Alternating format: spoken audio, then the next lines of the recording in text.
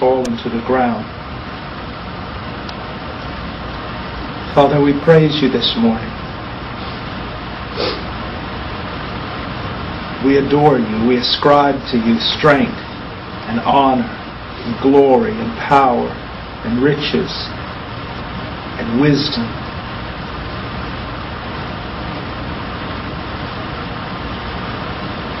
Father, we praise you that you have established your King on Mount Zion. And that as the nations scoff and as they rage against him, as they claim to have the power to tear off whatever binds them to you, you laugh from heaven because you do your will, Father, in the heavens and the earth and under the earth. No man can say to you, What are you doing? All the nations, Father, are like a drop in a bucket and less than nothing.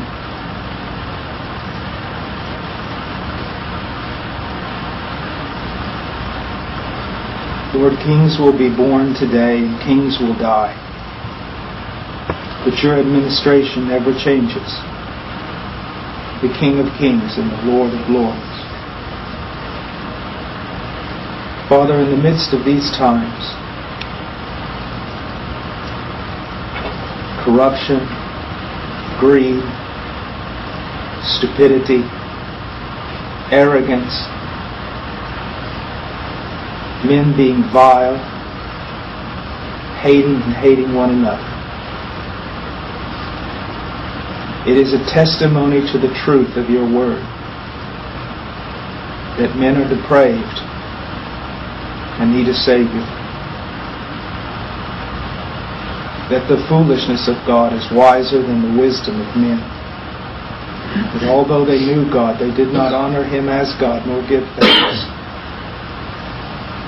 They became foolish, futile in their speculations.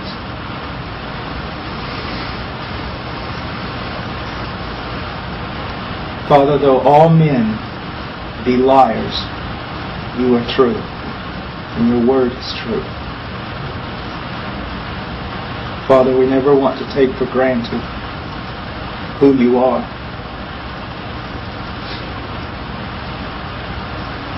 If you were not pure, if you were not holy, if you were not just, the idea of God would be a terrifying reality. But you are pure and holy and just, compassionate, full of loving kindness, showing your mercy to a thousand generations of those who love you.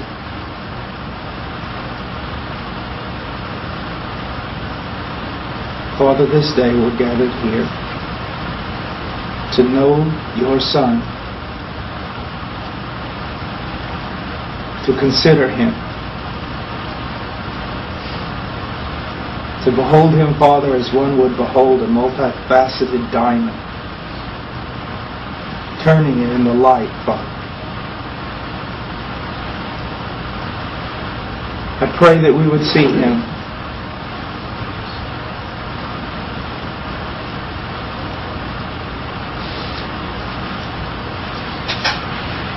I ask all this in Jesus' name. Amen.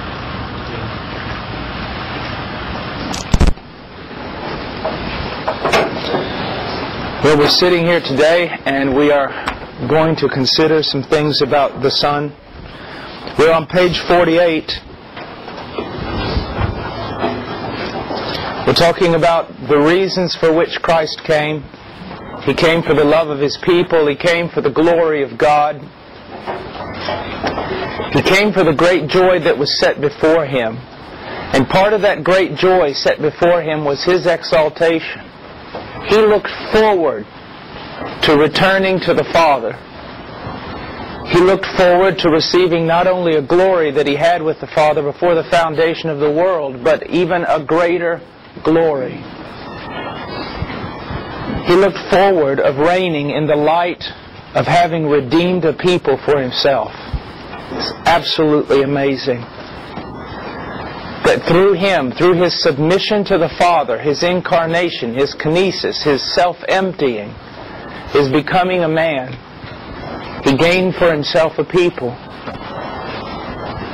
He did it as God, he did it as man, and now he is returning to the Father. Something that we spoke on last week that is so very, very important. There is a sense in which Christ returns to the glory he had before the foundation of the world with the Father. There is another sense in which he returns to a far greater glory. Not just the magnitude of glory because of what he has done, but the fact that now he takes that glory upon himself in the body of a man, a glorified man. So when we talk about Philippians chapter 2 and Christ laying aside his glory, becoming man, you have to realize that it is the only time in history where the subtraction is actually an addition. He lays aside his glory. He did not become something less than God. He became something more than God. He became something God had never been, and that is also man. He had to become man to work redemption and to save a people. And now he's going back to the Father. Let's go to John 17, 24.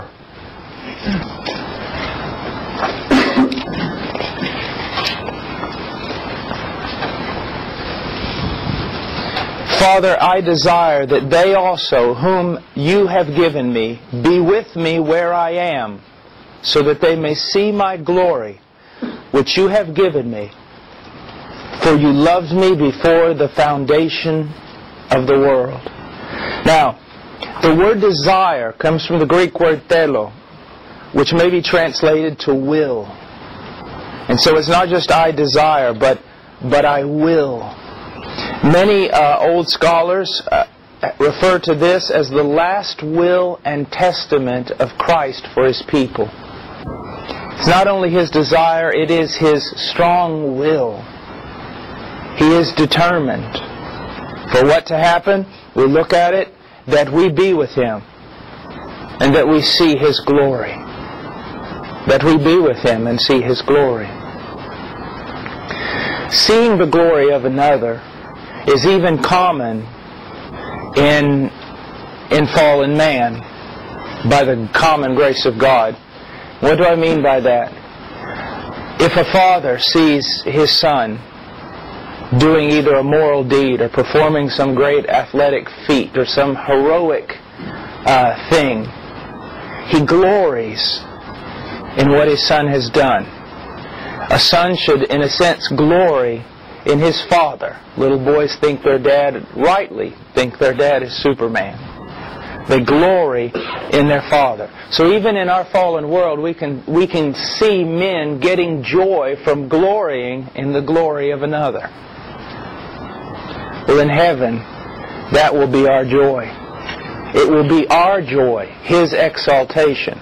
It will be our joy to see all great things ascribed to Him.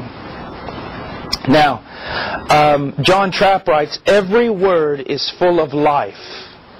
I would not, saith Mr. Baxter, for all the world that one verse had been left out of the Bible. Now see, you can read this text, look at it, and be nonchalant and not realize that it's one of the greatest texts in the entire Bible with regard to the future grace given the believer.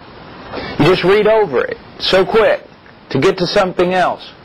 What you need to realize, you never read quickly in the Bible to get to the good stuff because it's all the good stuff. Father, I desire that they also, whom you have given me, be with me where I am. I can tell no one in this room understands this text. Either you're all sleeping because if you understood this text, you'd be breaking forth in tears, you'd be shouting for joy, you'd be jumping over tables, we'd have to restrain you. I mean, after all, if a, if a, an official or assistant of Bill Gates walked in the door right now and said, uh, Bill Gates has decided, decided to give you a million dollars or two million dollars, you'd be ecstatic. You'd be calling everybody on the phone. Mom, dad, friends, everybody. You couldn't even stay in the class. You'd leave the class over a measly million dollars. Some of you'd do it over a candy bar if someone gave it to you. But look what's going on here. Father, I desire. Now look at that. You ever been in a place where you knew that the only reason you were there is because well, the people who let you be there felt it was their responsibility to let you be there, but no one really wanted you around? I feel that way a lot of times after I preach my first sermon in a meeting. Well, he's here. We don't want to cause a scandal and put an end to the meetings. Let's just bear with him for a while. Can't last that long. But look what he says, Father, I desire something I will, I want. I want Paul Washer with me where I am, and I want him to see my glory. If you want to answer a prayer for me, then answer this prayer, Father. That's how much I want this to happen. That's amazing. There's enough fuel in that to propel you through an entire Christian life. Just that right there. That one thing. I desire that they also, whom you have given me, be with me where I am. The problem is, many times, because of bad evangelism, people are more drawn to the Christian life because of the promise of pearly gates and streets of gold and a utopia where they won't hurt any longer. Instead of realizing that heaven is heaven because of Christ. Because of Christ. The question is never, do you want heaven? The question is, do you want Christ? The devil wants heaven. He'd take it back in a second. But not at the expense of honoring Christ. Do you want Christ? Now, we talk about repenting. That's good. Repenting from commandments broken. That's good. It's not only good, it's necessary. But we ought to be repenting for lack of love. Repenting for a lack of passion, repenting for a lack of desire. I mean, it seems to me that if you were to talk about desires, the lesser should have greater desire than the greater. what I mean by that is, it seems to me that if you have two people in a relationship, one being of of almost infinite greatness, or in this case, of infinite greatness, and the other having no greatness at all, it seems to me that the one who had no greatness at all would have the stronger desire for the one that was infinitely great. But here it's reversed. The one who is infinitely great has the greatest passion for the one who's worthless. And the one who's worthless can't recognize the infinite greatness of the one who wants him.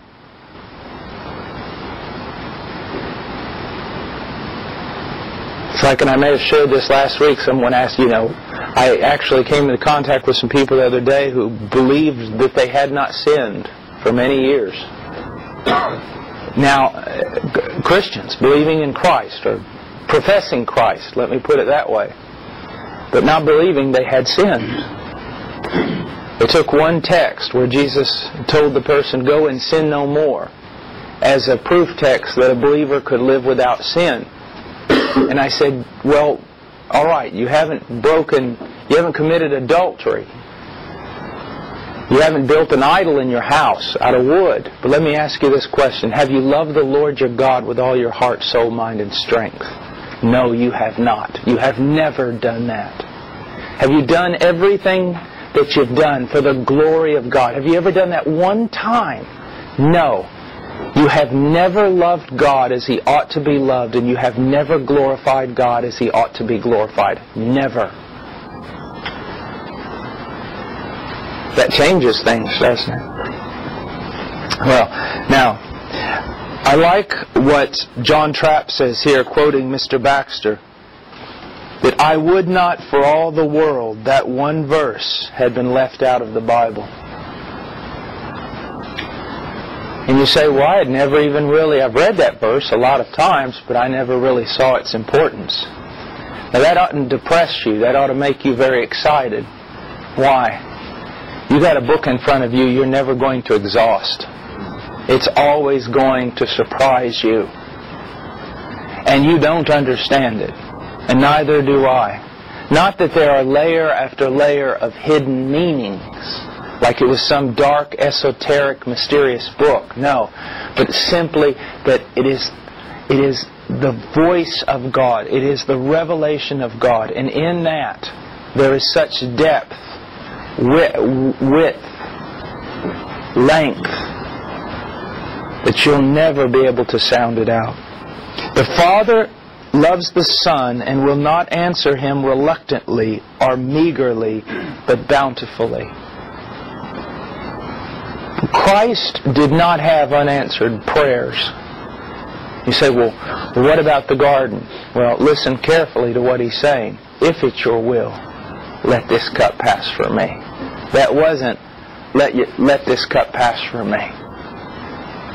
At all cost. Only, if it's your will.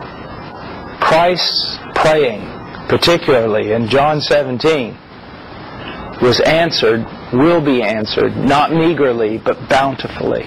That means what he's asking here, Father, I desire that they also whom you have given me be with me where I am. It doesn't mean a little cabin over on the hillside of heaven. That doesn't mean being six trillion miles away from Christ. That doesn't mean getting the cheap upper seats in the stadium. Doesn't mean that uh, because of your uh, because you were not one of the great ones of Christianity that you're only going to bump into Christ maybe once in an eternity. He's going to bountifully answer this prayer regarding you front row seat for every believer. Intimate relationship for every believer. Spurgeon does not have a greater portion in Christ than you do. And that's exciting. It's very exciting. Now, he says, Whom you have given me. Here we find a great motive for God's saving work among sinful men. He is moved to save them, not because of some merit found in them, but to give them to His Son. We hear about Jesus Christ being the Father's gift to us. That's true. Don't let anybody take that away. Some theologians, or not theologians, but young men doing theology, seems to them a statement like that seems trite. That Jesus is God's gift to us. But it's true. It's true in every sense of the phrase. But more than that, the overriding principle, the thing most important here is not that Jesus is God's gift to His people, but that the people are God's gift to His Son. He did not save you primarily because of you. You need to understand that. Because if he had to do it based on you, he would have never done it because there was no worth and no merit in you. The only thing a sinful man can motivate a holy, just God to do is to condemn him. But he saved you for his glory. He saved you because he is love, as it says in Deuteronomy when he answers Israel, I loved you because I loved you means it had nothing to do with you. So he saved you for his glory. He saved you because of his love. He saved you for his son. Now, get with the program. What do I mean by that? He saved you so that throughout all of eternity you would be a blessing to his son. So start now. Eternal life does not start when you cross over into glory. It starts at the moment of your conversion. Eternal life is this, to know Him. So start knowing Him now. The purpose of your salvation is to bless Him. Start blessing Him now. Now, throughout the ages, God has saved and transformed a countless multitude from Adam's fallen race so that he might give them as a gift to Christ. Now, this is not in itself, apart from the working of God, this is not a very good gift. To, to be honest with you. I mean, if you wanted to give me a gift, do not give me people. I, I'd, I'd really, I, I'd, I'd rather have a horse. it's like I was sitting up in the Andes Mountains one day on this kind of this knoll with an old friend of mine, Pedro Garcia. He used to be one of the most powerful witch doctors in the north of Peru, and he was amazingly converted. We're sitting there, and he's got his poncho on and his big old hat, and we're just kind of got the knees drawn up, sitting there on the grass, and he goes in Spanish. He says, "Brother Paul." I said, "Yes, Brother Peter." He said, "I've uh, I've pastored a lot of cattle." That's the same word in Spanish. And I said, Yes, I know. He said, I've pastored a lot of people. I said, I know that too. And he kind of looked at me. He's a very serious man with a twinkle in his eye, with a twinkle in his eye, and he said, "Cattle are a lot easier." I said, "Yes, brother." So don't think, "Oh my goodness, Christ is getting this wonderful gift. To here I am." Like my wife sometimes when I forget her birthday present, where's my birthday present? Honey, I'm your present. No, really, where's my present?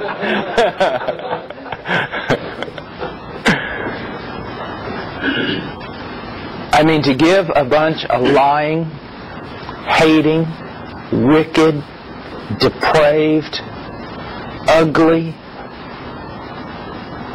human beings to your son? So what is the gift here? See, I want you to realize that, that it's not some worth inside of humanity. We've put an end to our worth. Not some beauty. We killed our beauty. It's not some gift. We stomped all those into the filth of our own lives. The beauty is the grace of the work that God is going to do to transform those people. And what he's giving them is a work of God.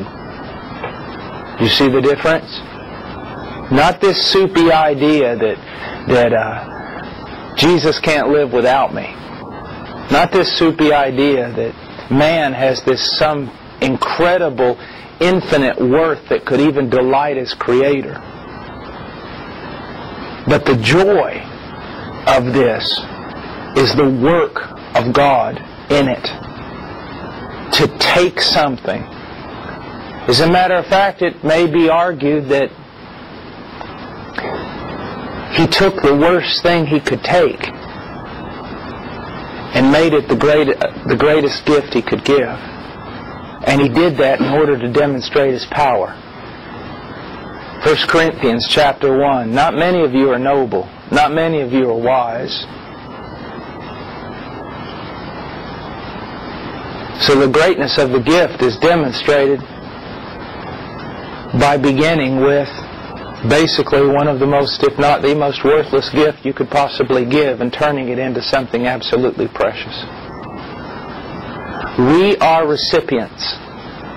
If you want a title, then let me give you a good one to hold on to all your life recipient of the grace of God. Do you want to be something else?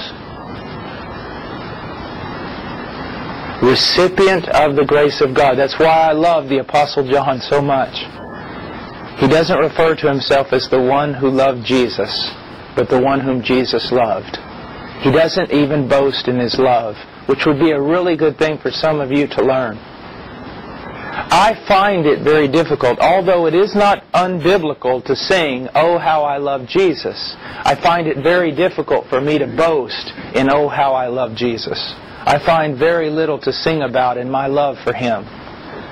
But I find a whole lot to sing about in, Oh, how Jesus loves me. Okay, be with me where I am so that they may see my glory which you have given me. Now, Christ now reveals the great motive behind his petition. He asked that his people might see his eternal splendor, the fullness of his excellencies, perfections, beauty, and power. The Son desires to be glorified because he is God, and it is right for him to do so. You know, entertainment, and I may get myself in trouble here, entertainment, just at face value, an entertainer. I'm, I'm, maybe there's a motive out there that I'm unaware of, but it seems to me the motive is I, I want everyone to see me. I want everyone to see how funny I am. Or I want everyone to see how beautifully I sing. Now I know that there are boasts made in an opposite direction that says I'm doing this all for them. But I find that very hard to believe. As a matter of fact, in some schools of music, the first time a child picks up a violin, starts playing, the parents are encouraged, uh, even at the first practice session, to applaud the child. Just applaud him and applaud him.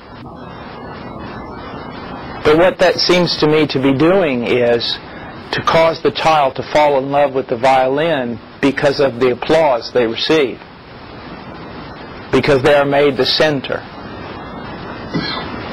So in most cases, when someone wants to take center stage, it is not for altruistic reasons. It is not for selfless reasons. But here we hear Christ saying, Be with me where I am so that they may see my glory which you have given me. Now, although we're although we talk with more certainty than we ought to regarding the fall of Satan, it does seem possibly that he sought to exalt himself. So what makes Christ any different? I mean, if we heard this kind of language coming out of a man or an angel, it would almost turn our stomach. Who do you think you are? I mean, if you were to say, I'm going to preach tonight, Brother Paul, I want you to be there so that you can see my glory. It's like the young man who the pastor gave him an opportunity to preach, and as he was walking up to the pulpit, his head was held high and his chest was out, and boy, he was so excited about what he had to say. And after about 15 minutes of absolute nothing, babbling and everything else, falling apart up there behind the pulpit, he walked down with his shoulders hung over and his head dragging on the ground. And the preacher looked at him later and said, Son, if you'd have walked up there the way you came down, you would have came down the way you walked up. We know that someone seeking glory for himself. It's a grotesque thing. And this in itself is a proof of the deity of Jesus Christ. Who but God can use this kind of language? And for our Jehovah Witness friends, they need to realize that not even angels can use this kind of language. It's just not right. No angel can say, I want them to see my glory. Why? Because it's clearly said out God does not share His glory. You see, these statements that you think are just common, ordinary statements are filled with meaning. Only God can say these things. Only God can do these things. So, first of all, I want you to recognize that He is God, and it is right for Him to seek His glory. Now, another thing, to shun this glory would be to deny His deity. God takes first place, unapologetically. Why? Because He's God. Do you want Him to give it to you? I've said this a million times based on Edwards, Jonathan Edwards, and it's so true. But not just Edwards, everyone realizes this.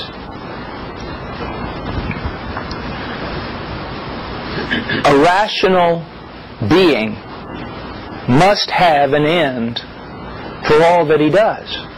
If I catch you out doing something, what, what, why are you doing this? I don't know. That's irrational. All beings, even the creature, has a reasonable end for his works, for what he is doing. So we must ask ourselves, what is the reasonable end for creation, for the existence of life? What is the reasonable end? Now we can narrow this down to two choices. Well, three. If God is not a reasonable being, then it could be for no reason at all. But we know that's not true. So we can narrow it down now to two. He does it either for his creation or he does it for himself. Now, who should be the end or the purpose or the reason behind the existence of everything? Should it be the creature or should it be the creator? It should be the creator. I always answer that when people say to me, they go, I have a real problem with God being the end of all things. I go, well, who would you like to take his place? You? And basically, I can tell you that in modern day contemporary Christianity, that's exactly what's happened. If I walk into a church and say, God's done everything He's ever done for you, not one person will have a problem with it. But if I get in there and say, God's done everything He's ever done for Himself, well, I just, I don't believe that. Well, then for whom? Well, um, for me. You see how absurd that is? Even such songs as God loves people more than anything. That's not true.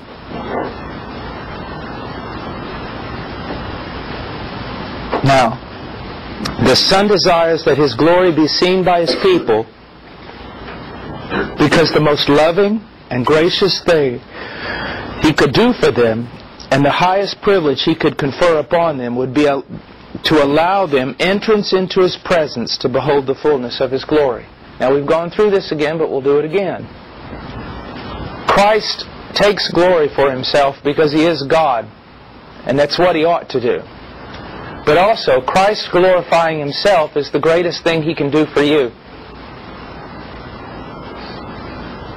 The greatest gift that Christ can give you is to take center stage and do everything he does so that the beauty and the greatness and the perfection of all that he is is revealed to you.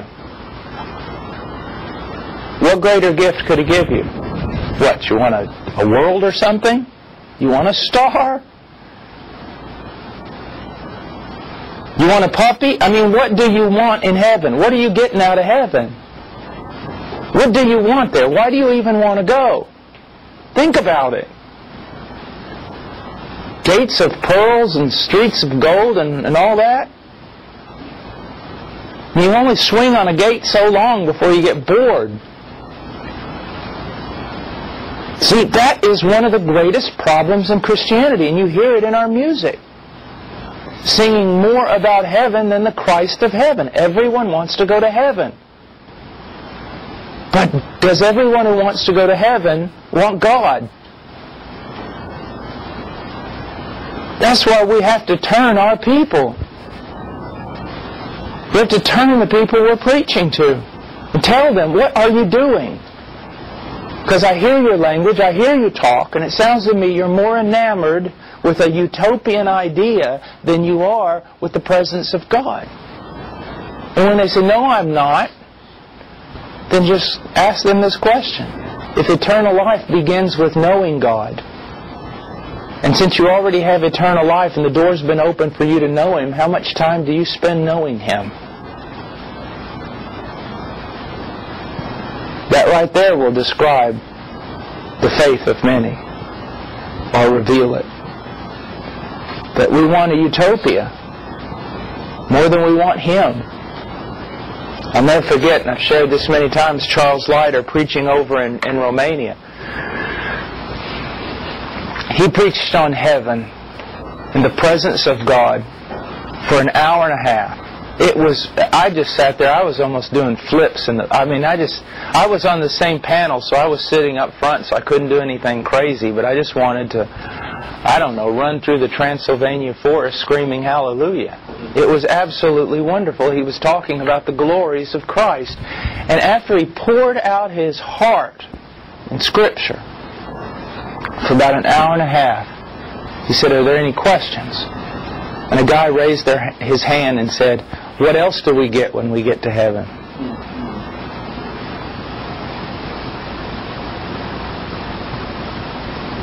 I mean, I hear people, I can't wait to get to heaven. You think we'll be able to fly, Brother Paul? I don't think that's a biblical question.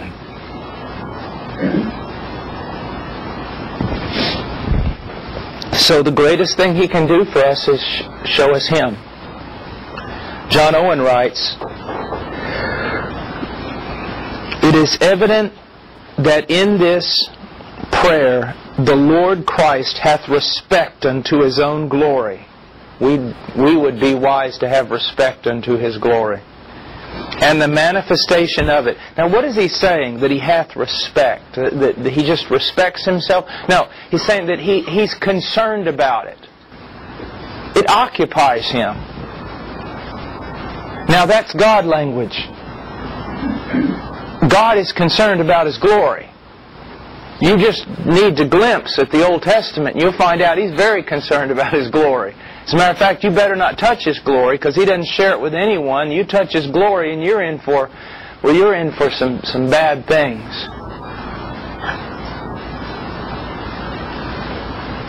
I was listening to Conrad Mbewe preach a while back. One of the best sermons I've, I've ever heard in my life. And um,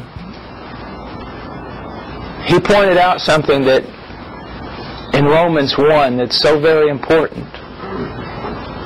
As a matter of fact, let's just turn there for a moment. I want to show you something.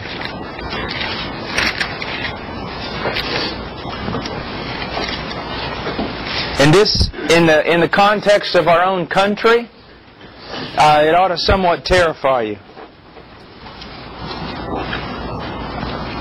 Verse 21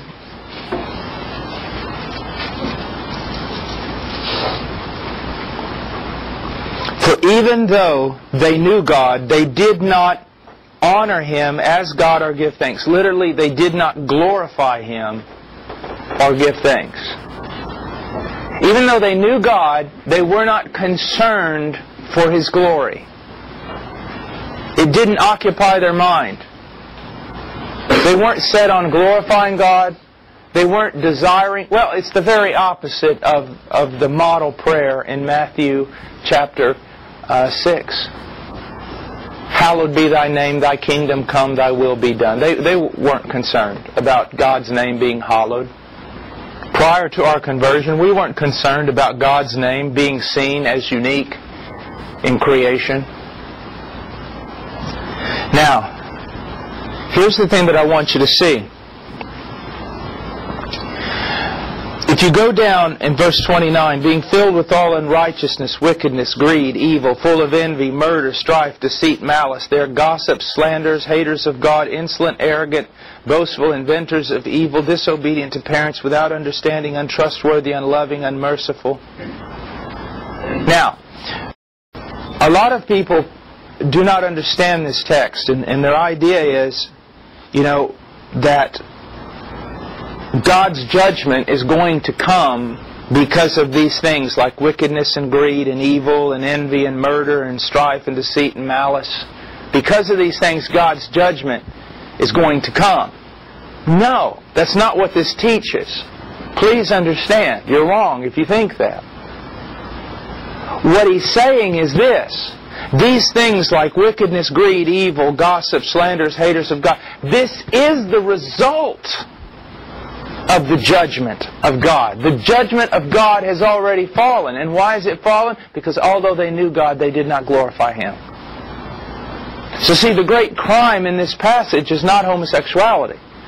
The great crime in this passage is although they knew God, they did not honor Him as God, and therefore God turned them over in judgment because of that one thing. You see that? What's the greatest sin? You want to know what it is?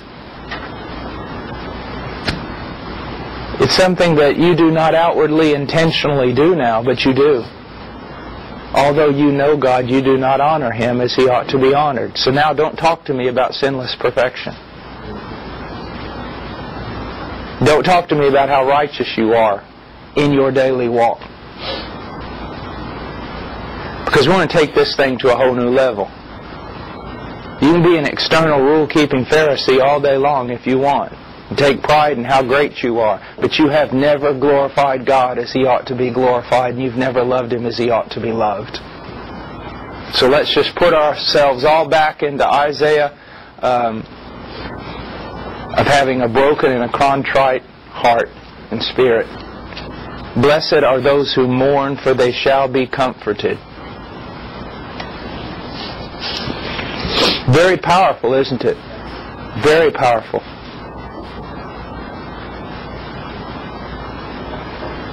Our country is the way it is. It's not that our country is, man, we're wickedness, greed, envy, full of envy, murder, and strife, and deceit, and because of all these things, we're going to be judged. No, because all these things exist, it shows we're already judged. And why were we judged? Because although we knew God, we did not glorify Him as God or give thanks.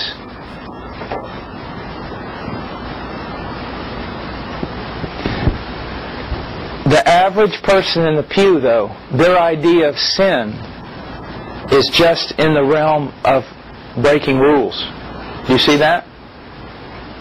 And that's why most people think, well, I'm, I'm pretty much okay. I mean, I haven't, you know, I don't cheat on my wife. I don't build idols. I mean, you'd be crazy to do that. And, and they don't see what the real issue is. And you've got to tell them.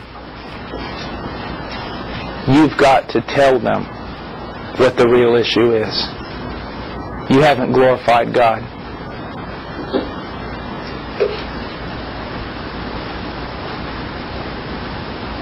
And you hear young people, you know, say, be living in all kinds of horrible sin. And they talk to them about God, oh, I love God. I mean, no. The fact that you're living the way you're living is, in a sense, the judgment of God upon you because you don't love Him. You see. Let's go back. It says, The Lord Christ, Owen says, The Lord Christ hath respect unto his own glory and the manifestation of it. Now, if anyone other than God, if this was said about anyone other than God, we'd have some serious problems. Hey, Brother Paul, why are you so distraught today? Well, I'm really concerned for my own glory, and I, I really want it to be manifested more to people. I just don't think I'm getting the credit and respect I deserve out there. If people could only see my glory the way it really is, things would change. I mean, you would say, that guy needs some serious counseling.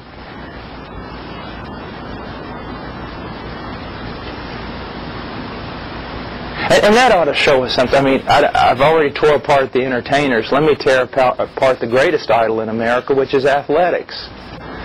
If I had a dime for every athlete I've seen come in front of a camera and go, well, I'm finally getting some of the respect I, feel, I think I deserve.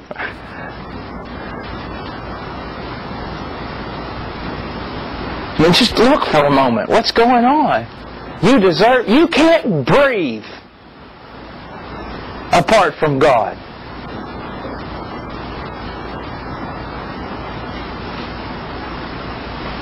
But that's another sermon. We don't want to run that rabbit. Okay.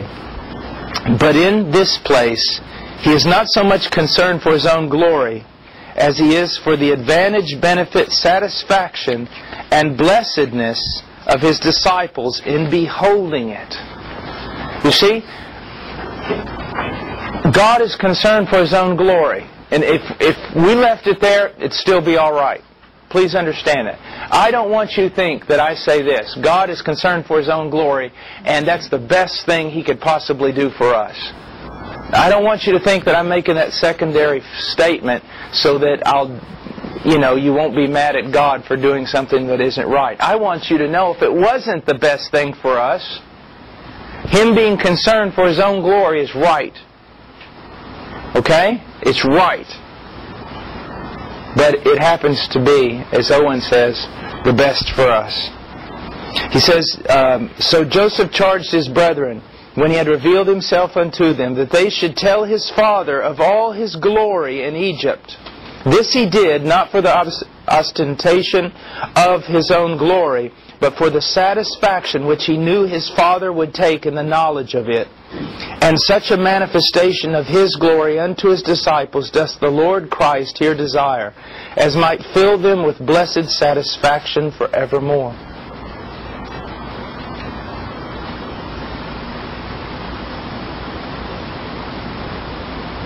Find out your brother's been taken over into a foreign land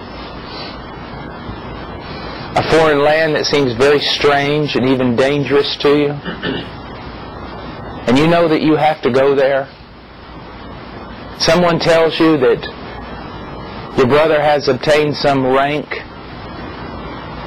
and so you begin to ask yourself, well, I'm going.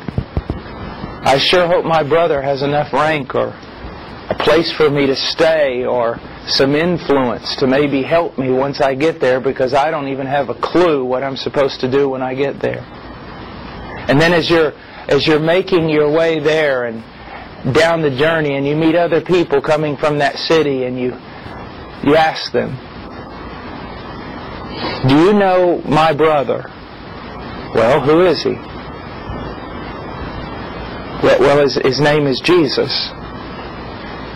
Can you tell me about him? Jesus is your brother? Yes, he is. Well, you've got nothing to worry about then. I mean, there's no one that outranks him. There's no one over him.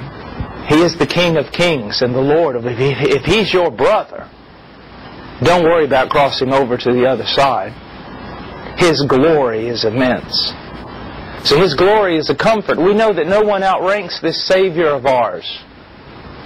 No one's going to annul the work He's done. There's not going to be, as I, as I love to say, and have written many times, there's never going to be a changing of the guard or another administration to replace the old one.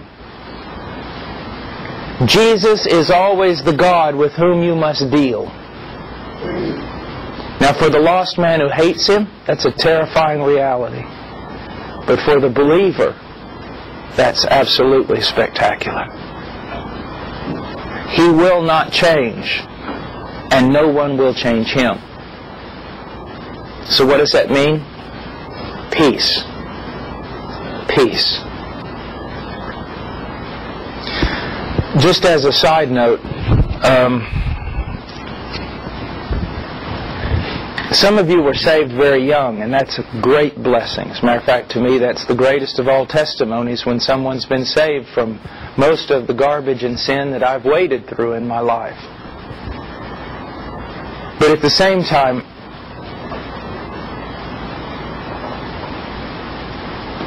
it is so easy to forget the lack of peace that we had prior to our conversion. I can remember at the university, and it all it seemed to happen. I would get into the shower in the morning, have to get up real early in the morning for class, and get in the shower. Such, I mean, the dorm is quiet. It's dark outside.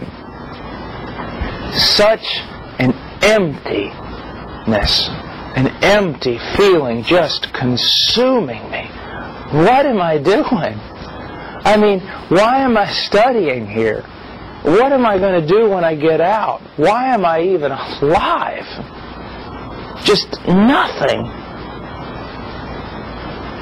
Sometimes it's good to think back on that. Because we forget, we, we forget what a blessing it is just to have some measure of peace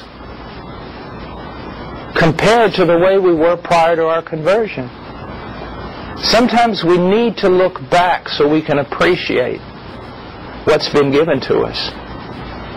I get up in the morning and I may have some fear, I may have some doubt, I may have a lot of things, but there's that at least that it's like a kernel. It's like a kernel of, of, wheat or something. It may not be very large, but at the same time it's foundational and gigantic. No matter how small it gets, it still seems to be foundational in my life, and it's a controlling peace of Jesus Christ. And even when I don't have peace, at least I know something. My life has purpose. It's headed in a direction, and all of this is not vain. Well, let's go on. Now he says this For you loved me before the foundation of the world. Well, I guess God didn't make you because he was lonely.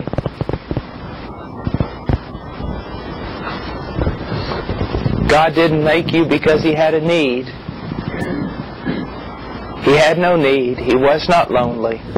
As I always say, he did not make us out of his need, but out of the overflow of his superabundance. Because look at the relationship. You loved me before the foundation of the world. It's like the old timers used to say, you know, to their, their, their sons when they would get kind of rebellious and and maybe back talk to their mother. Listen, boy, I loved that woman before you were even a gleam in my eye. I loved that woman before you even existed.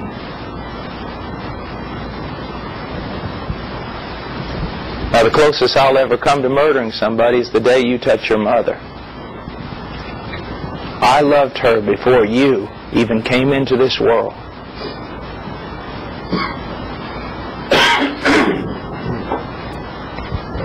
God the Father loved His Son before the world ever came to be. And that is the relationship that is foundational in our salvation. One could say that our entire salvation is founded upon not the love of God for us, even though God does love men but a deeper foundation is the love of God for His Son.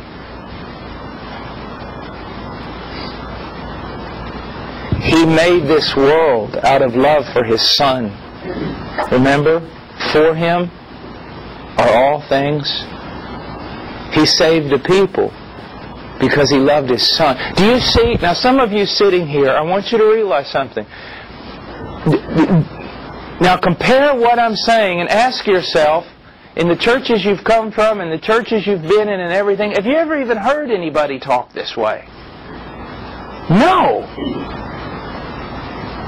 This type of language has nothing to do with modern day Christianity. And yet it is foundational. It's full of glory and joy unspeakable. Some of you are going to be missionaries. You want to know what keep you on the mission field? This.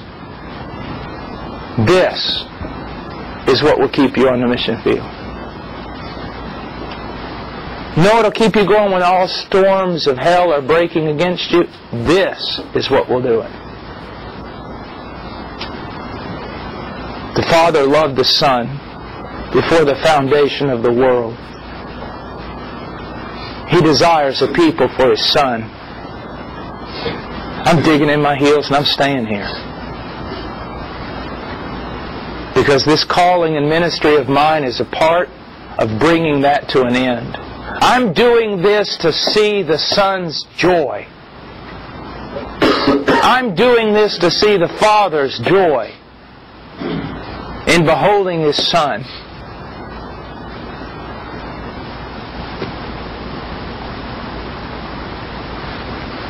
That's the strong medicine you need to be in the ministry.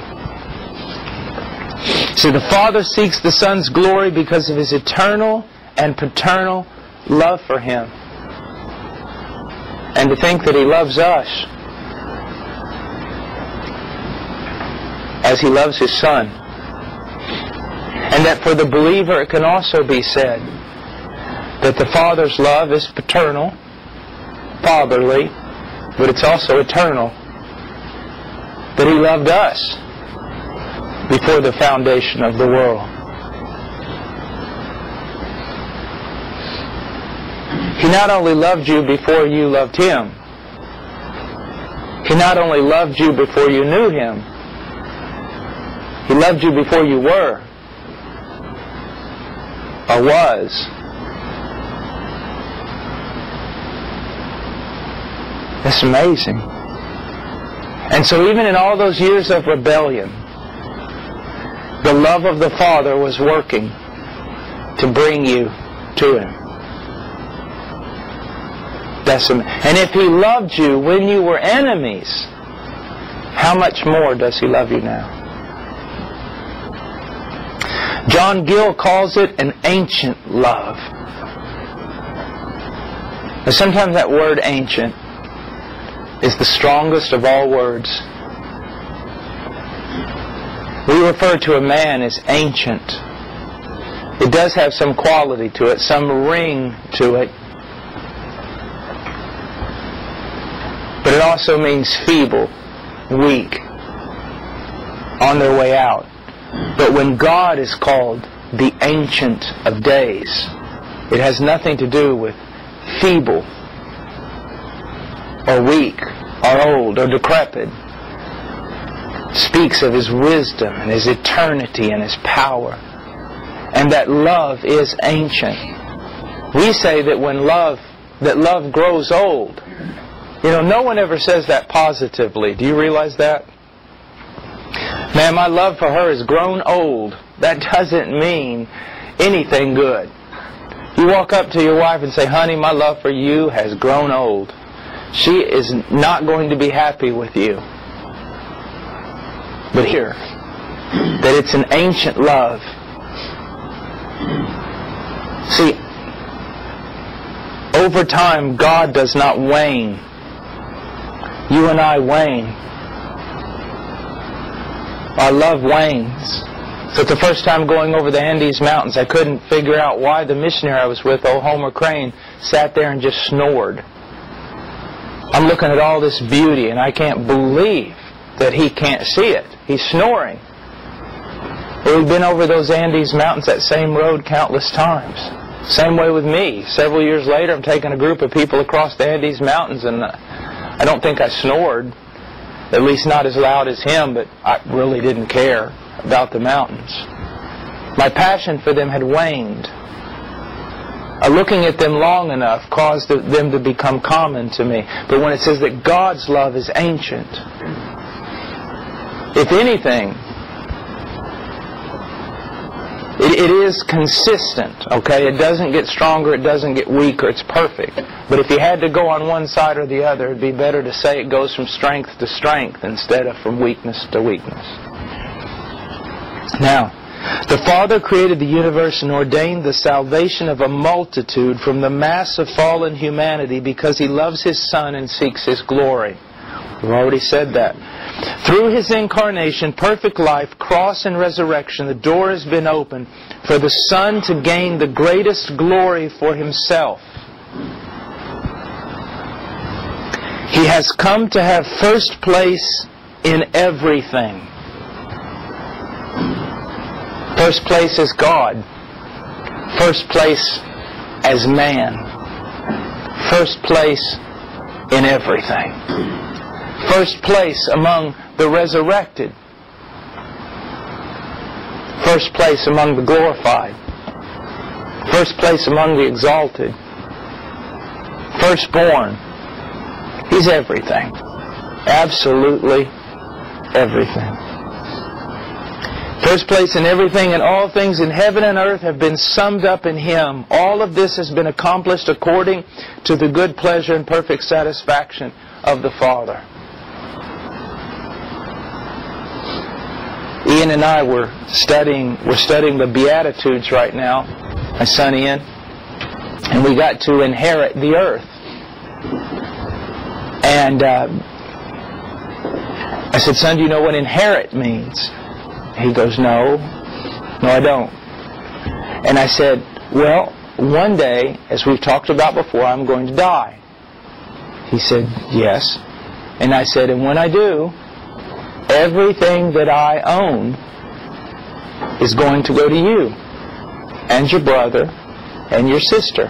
You're going to inherit inherit everything that I have. And of course, my son thinks that I own the world. Um, how sorely disappointed he is going to be when he gets older. But I said, everything that I own is yours. It's yours. Now his little face lit up. I don't think he was excited about me passing on. But he just, it, it was like, you know, he's a little boy. He's just turned seven. And he, he, you know, it's like, I'd never thought of that before. It's like an epiphany. And then we went from inheriting the earth. And the joy that was, was in his face, and, and I took joy in it. Everything that belongs to the Father belongs to the Son. And the Father's done all this to give the Son first place. That's amazing. That's just amazing.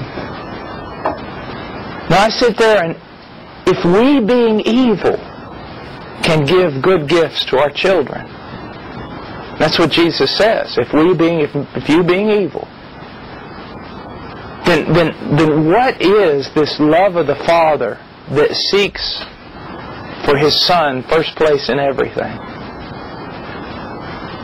I'm always telling my son, you know, that he'll say something and I'll say, oh, but son, I have plans for you. You're going to be a far greater man than your father. Now, if, if he becomes a greater man than his father, do you honestly think I'm going to mope? Do you think I'm going to say, oh, he beat me? If he's more godly, if he's more used of God, do you honestly think I'm going to sit there and just pout? I'm going to go wild. I want him to do that, to know that, to have that. I want that for him. Do you see that? Now, if I, being evil, can want that, what about the Father? See, most people would go from here and jump to you, which is a rather sick thing in my mind. If God could so, you know, if we can want to give good gifts to our um, to our children, then how much does God want to give good gifts to you? Now that's true, Jesus said that, but I want you to step back first and think of this. If we can desire to give good things to our children, how much more does the Father desire and delight in giving good things to His Son? Think about Him before you think about you for a minute. I know it's hard. What kind of explosion of joy was there at the return of the Son into heaven, heaven accomplished. Can you, you know, you can't imagine. Don't even think, don't even try to think you can imagine. Me and my little boys, and, and probably someone who sees this on film will get mad at me, but me and my little boys are uh, Lord of the Rings fans. We just love watching those things. I don't know if it's just we love fighting or what it is, or you know, take out aggression somewhere. We just really get a kick out of them. And uh, the return of the king. What joy was there?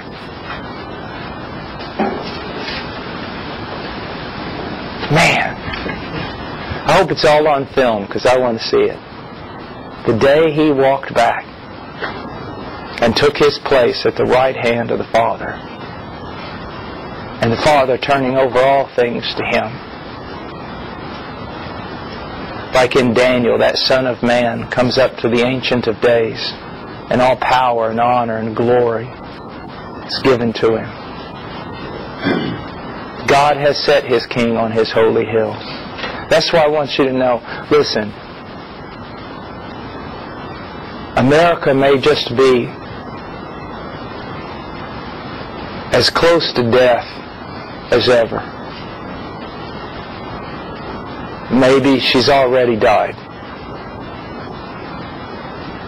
There are some good officials and politicians, I'm sure, but by and large, it's nothing more than a bunch of corrupt little children, stupid, vain men. But don't you worry about that. Because God has set his king on his holy hill. And he scoffs at the vanity of men. And all this has a purpose. Even this corruption, even this just absolute, almost insanity and vanity, it has a purpose. If, if nothing else, it does one thing. It proves that God is true and all men are liars. It proves everything God says about man is true. But don't worry. God has delighted in setting for himself a king, a son of David, on the throne, just as he promised. And it's not he will reign, he is reigning. He is reigning. Now, let's take a break here for a few minutes and we'll go to Psalms 2.8 and find out some more wonderful things about this son. Take about five or ten minutes.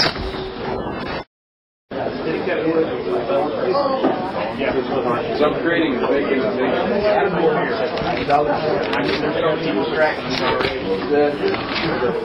Not that that's a distraction.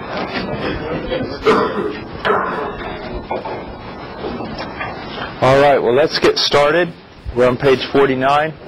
Let's go to the Lord in prayer. Father, I thank you for this morning and the strength you give us. You are a constant help, a constant source of, uh, of hope.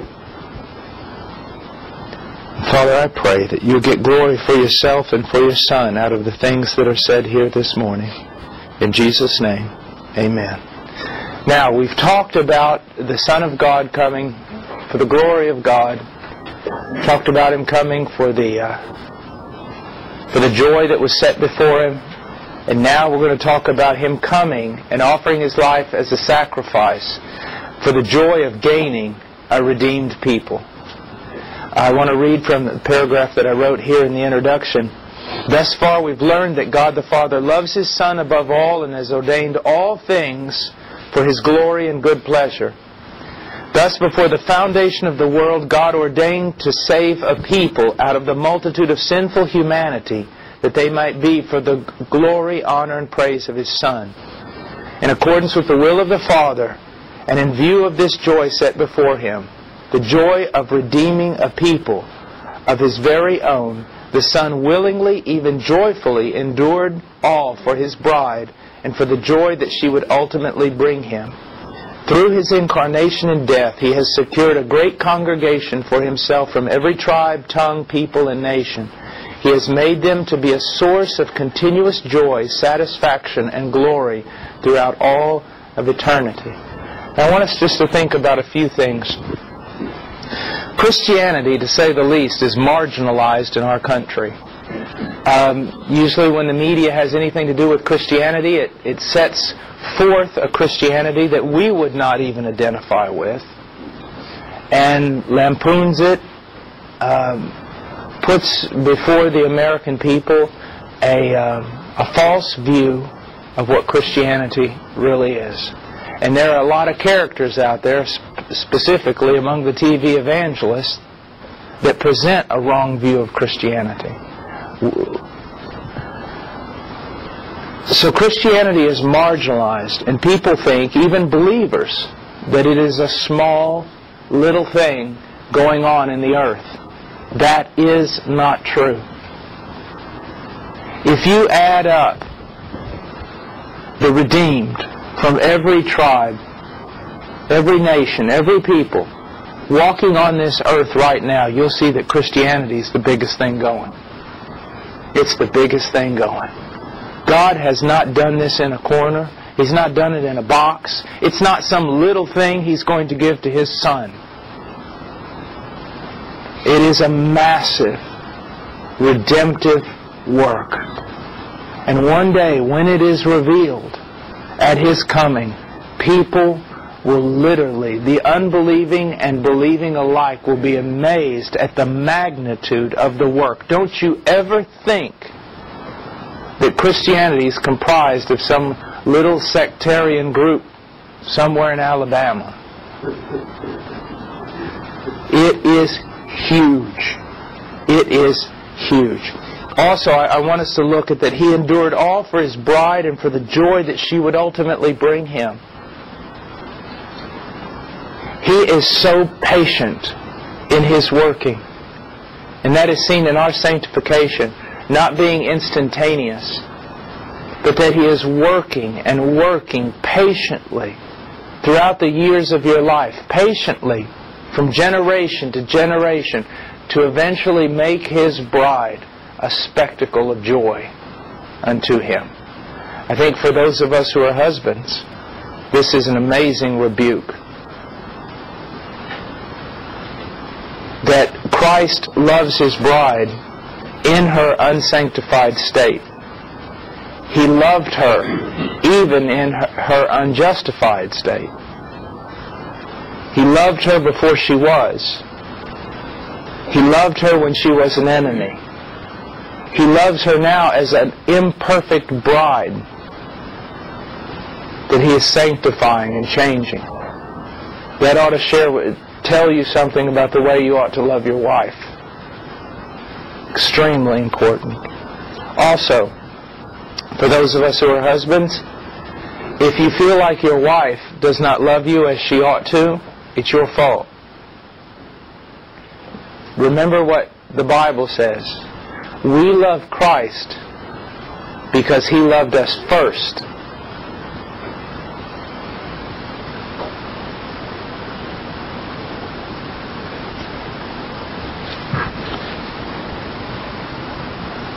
So it is the man's love towards his wife. Now, I want to, to make it clear we're talking about in, in a common marriage, in a marriage where you're just struggling with the common problems. We're not talking about believers being left by unbelievers and so on and so forth. There are impossible people.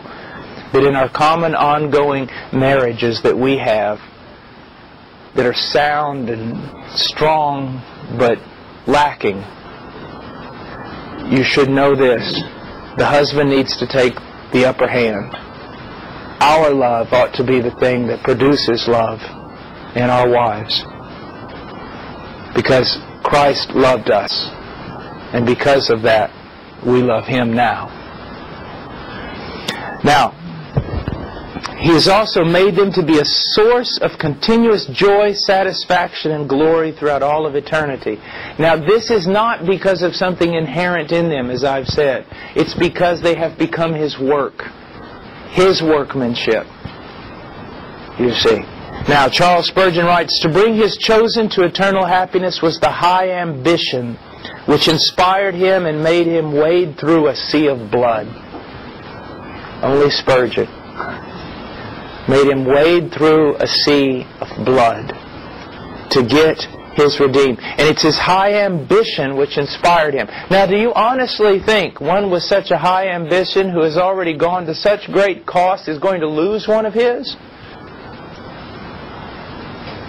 When what you need to understand is that when you see salvation as a reward for some work you've done, then it makes common sense. It is common sense to think that it can be lost. But if salvation is a work of God to demonstrate how powerful He is in saving wicked men, you understand He is not going to lose one that He has saved. Because it is His reputation and His name that is riding upon it. I read this one more time and made him wade through a sea of blood. I read it simply because it's worthy of being read. It was not tiny drops of blood, but a sea of blood through which he had to wade. And not just the anguish caused by the abuse of men, but more so the anguish caused by the condemnation, the judgment of his Father against him. Matthew Henry writes, The salvation of souls is a great satisfaction to the Lord Jesus. He will reckon all his pains well bestowed and himself abundantly recompensed if the many sons be by him brought through grace to glory. Let him have this, and he has enough. God will be glorified, penitent believers will be justified, and then Christ will be satisfied. You've heard the story about the two Moravian young men who on their, sold themselves into slavery so that they could go to an island where there were only slaves and witness to them. There was no turning back. It wasn't going to be furlough. There was no, I'll come back if I don't like it. They sold themselves to a slave owner so that they could go witness to the slaves that he owned for life. And as they were pulling away from the dock on that boat, and their parents and the church family and everything standing there looking at them, one of them screamed and said, Shall not the Lamb have the full reward of his suffering? Now that's missions. They counted their life as worthless so that the Lamb might have the full reward of his sufferings. Gentlemen, don't waste your life playing stupid little games. Just don't do it. Now these were two young men, barely out of their teens.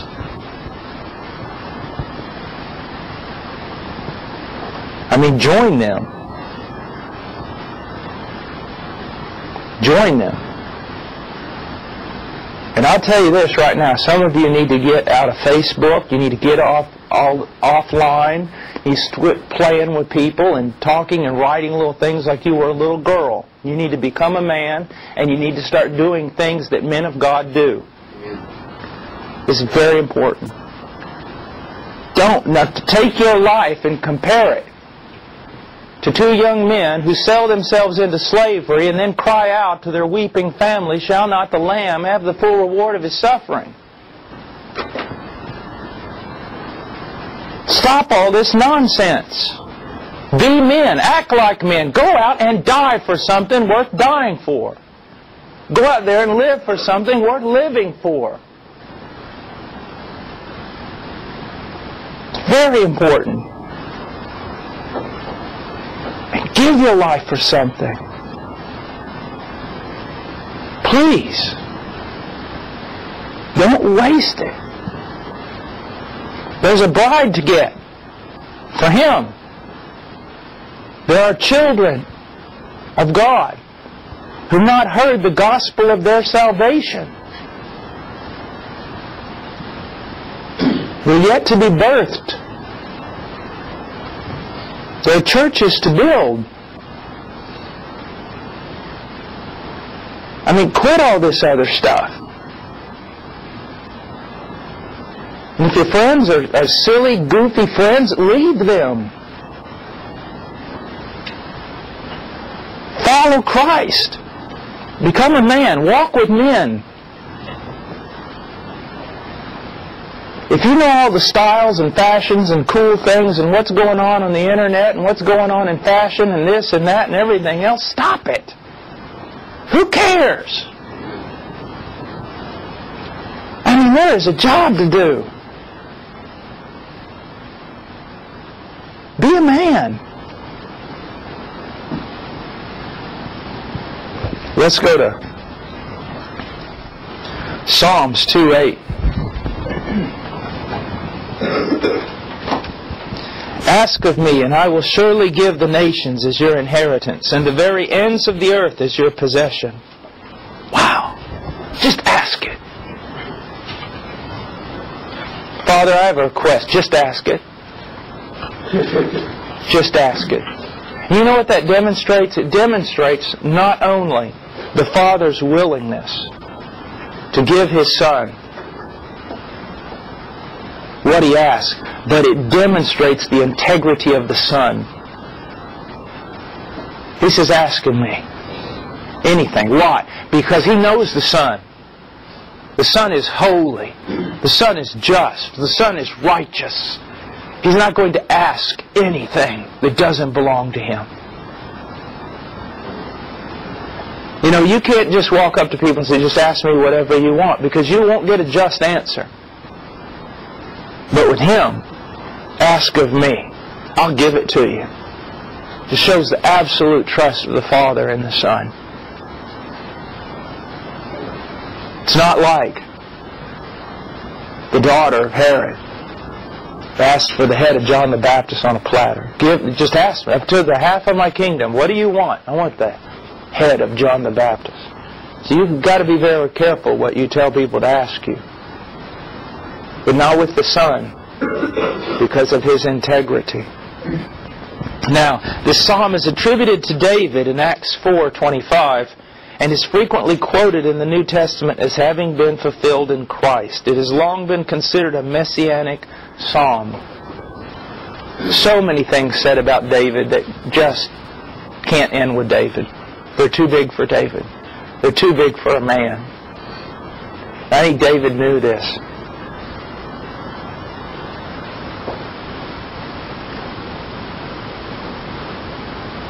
Guys, everything. You, you hear this statement about we need to interpret every word in the context of its the phrase of the verse, every verse in the context of its paragraph, chapter, every chapter in the context of the book, every book in the context of the Testament, every Testament in the context of the Bible as a whole, and the Bible in the context of Christ. That last part cannot be overemphasized. It's all about Him. Says things to David, it goes farther than David. It's all about Him.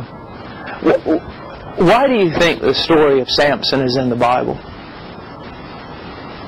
Do you think it's just a story about Samson? Do you think it's just a moral story telling us about a guy who was called of God but then failed, but then God's mercy, and that's all it's about? The Bible, I don't think there's any place in the Bible where it's just a moral story. The Bible is not necessarily a, just a book of morals. It's a book about Him. It's a book about Christ. I, have got to believe that that man picking up those gates of that city on his shoulders and running up that hill is just a precursor to something much greater. A greater than Samson who would not fail, who would not be tempted, and who would destroy his enemies without suffering any collateral damage. There'll be no wound on him when he comes back. Now, I'm not talking about the marks of the cross. I'm talking about when his enemies rally against him on that final day, he'll not suffer damage. He won't have to kill himself to take his enemies with him. So what oh, uh, the point I want you to see is that it's all about Christ. It's all about Him. It all points to Him. Everything in the Bible points to Him. To Him, to Him. Look for Him. Now be careful. The Puritans came up with a lot of ingenious uh, metaphors and things, thinking they saw Christ in certain things, and maybe they did. But just realize this this whole book is about Him, about His coming, about His redemption. Now, ask of me, and I will surely give the nations as your inheritance and the very ends of the earth as your possession. With regard to David, this promise refers to his possession of the promised land and the subjection of the nations. With regard to the Son of God, it refers to his rule over all creation for himself from every tribe and tongue and people and nation. God has moved to save the nations not because of some merit or virtue that He found in them, but that He might give them as a redeemed people, as an inheritance to His Son. Ask of me. And He did. Father, give me the nations. Give them to me. Give them to me what is so amazing to me, it just, it just boggles my mind, is not just the privilege of being saved, which is enough, but the privilege of being called to go after the nations. I mean, most people just die. I mean, you see that most people just live and die. Most people just exist. And believers are so distracted by things that don't matter, a hill of beans. And yet we've been called to go after the nations. There's so much glory in that. So much privilege on our part. Charles Spurgeon writes, At grace, great feasts, many a monarch has been known to say to his favorite, Ask what I shall give thee, and nothing shall be denied thee this day. Even thus doth the great Father say to his glorious Son, the Prince of Peace, Ask of me, and I will give thee the heathen, thine inheritance, and the uttermost parts of the earth thy possession. He bids him open his mouth wide and request a boundless dominion. He will give him distant nations, yea, the whole round earth to be his kingdom. You see, the Great Commission, it's about the salvation of men. Don't ever lay that aside. Anyone tells you that that's not, they're liars. They don't understand Scripture. They're off balance. It's about the salvation of men. But it's so much bigger than the salvation of men. So much bigger. It's about Him. It's about His reign. It's about His glory. It's about His delight. When, when you're a missionary, yes, you're serving people. But more, you're serving Him so that if no people even recognize anything or seem to be benefited from anything you do, it doth not matter. Why? You're serving Him. You're serving Him. But also you know this, that since God has decreed to give Him a people from every tribe, every tongue, every nation, every people, you know your work's not in vain. If you work within the context of God's will, your work is not in vain. Even if you die without seeing one convert, you know that the fruit of it will be eternal, and it will lead to the redemption of men. I mean, it is a, it is a win-win situation here. And remember this, a story I always like to tell because, well, it, it just so, in my mind, sets up the truth and the reality of giving our lives to eternal things. Fred Bear, who was an absolutely magnificent bow hunter, hunted for seven years before he took his first large game. Seven years. And then went on to be, man, the greatest bow hunter probably that's ever lived. William Carey was in India seven years before he won his first soul to Christ and then went on to win thousands, hundreds of thousands of men to Christ. Now, who do you think's happier at this moment in eternity? Fred Bear, who literally struggled seven years to take his first big game animal. This is an amazing feat with a bow. Or William Carey. God's eternal. The souls of men are eternal. The Word of God is eternal. For what are you going to give your life?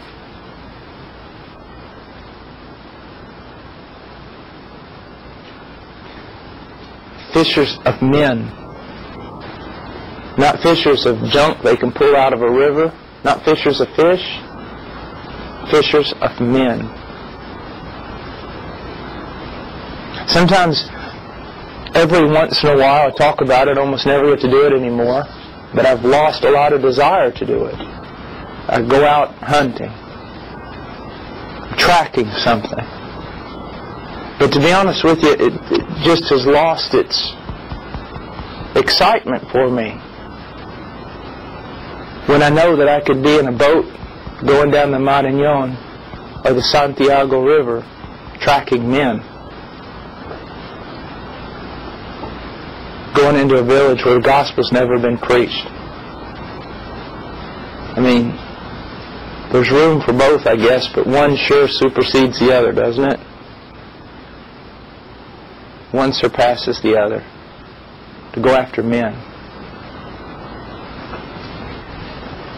Well, John Gill writes, These are given him as an inheritance and possession, as his portion to be enjoyed by him, and who esteems them as such and reckons them a goodly heritage and a particular treasure, his jewels and the apple of his eye. Such things to be said about us. John Gill's not wrong and he's not exaggerating when he calls us a goodly heritage, a particular treasure, the very jewels of Christ, the apple of his eye. It's biblical terminology. How could it be that a worm like us, a worm like us, could be given such titles? Don't you see? It's all of grace. It is all of grace. It is all of grace. It is all of grace. You are privileged, privileged, privileged, privileged. It is all of grace. Stretch forth your hand and claim to have some part in this, and I'll smack your hand as hard as I possibly can. Because you are wrong.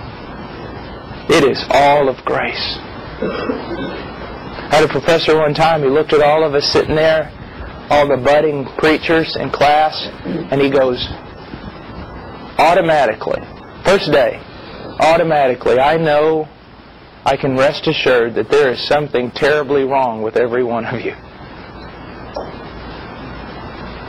That there are character flaws, that there are, I mean, some of you are just, you know, half inch this side of wacko.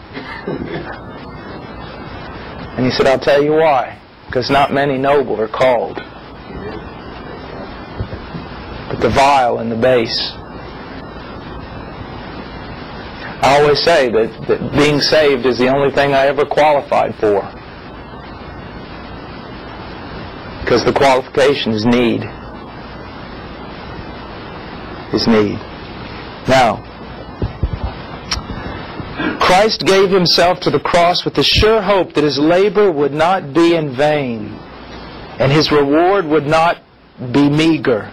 Sovereign grace would see to it that the Son would receive his reward in full. God promised his servant Abraham, Now look unto the heavens and count the stars if you are able to count them, so shall your descendants be. If God made such a promise, a promise to his servant who believed, how much greater is that promise to his son who obeyed unto death, even death on a cross?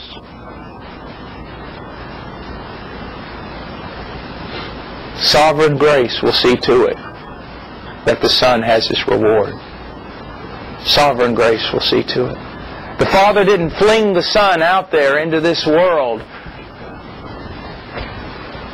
with the possibility that no one would believe. I can assure you. He saw to it that they would believe, that there would be a people, a people elect from the very foundation of the world. Explain that truth, you'll lose your mind. Throw it away, you lose your soul. It's true.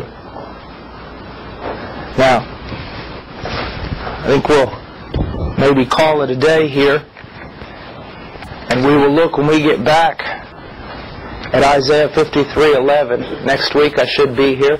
Please pray for me. I leave on Thursday to go preach up in Springfield, Illinois. Uh, dear brother Kurt Daniels. I guess I have to call him Dr. Kurt Daniels now. Uh, Dr. Kurt Daniels. And um, I'm looking forward to it. Um, but um, a lot, this next two months is going to be really kind of kind of difficult. So just pray for me, please. And um, guys, please understand something. All of you in this room must. I want you faced with the reality that the Christian life is absolutely wonderful. I want you to be faced with the reality you're debtors. You're debtors to all men. And I do want you with all my heart to lay aside things that don't matter. Lay aside childish things. Serve the Lord with whatever He's put in your hand. Serve Him. Serve Him. And rejoice in being able to be tired for Him. Let me ask you a question. Do you end your days, most of your days, except maybe when you take your Sabbath break, do you end your days tired? Then I feel sorry for you. You need to end your days each day needing sleep and needing rest because you have worked yourself so hard for the glory of God. And I say for the glory of God because I, I realize that many of you work in different jobs not directly associated with what would be considered ministry. But whatever you do, whether you eat or drink, you do it unto the glory of God. And you do it not as eye service to men, but to please God. I mean, I just, I just, I guess it's my generation or the way I was raised. I can't think.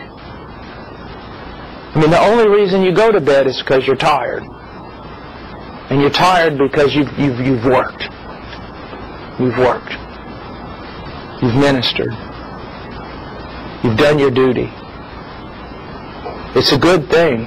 It's a pleasing thing to lay your head on that pillow, knowing that that day you spent it. You spent not only the day, but you spent yourself for His honor, His glory. So don't think of just worship for the glory of God. Think of being tired for the glory of God. Now, for those of you who are husbands and fathers, now for you young guys, you need to, you just need to knock yourself out. Just get off work, start preaching, do something. Just study, preach, knock yourself out. For those of you who are husbands and fathers, you get home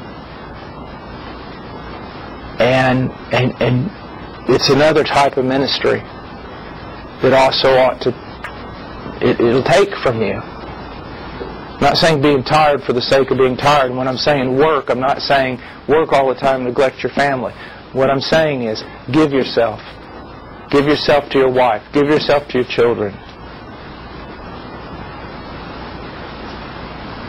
It's a good thing. It's a very good thing. All right, let's pray. Father, thank you for this day. Thank you for your kindness. And please help us, Lord. In Jesus' name, amen.